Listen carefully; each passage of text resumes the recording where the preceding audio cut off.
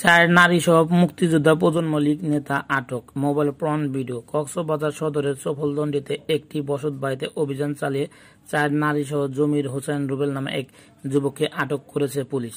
তিনি ইউনিয়ন মুক্তিযোদ্ধা প্রজন্ম লীগের সভাপতি। আটকের পর তার মোবাইলে ফোনে মিলছে বেশ কিছু প্রণ ভিডিও। এছাড়াও তার নিকট থেকে উদ্ধারকৃত পরিচয়পত্রে মানবাধিকার তথ্য পর্যবেক্ষণ সোসাইটি নামক একটি সংস্থার সফলদণ্ডী কমিটির সভাপতি লেখা রয়েছে।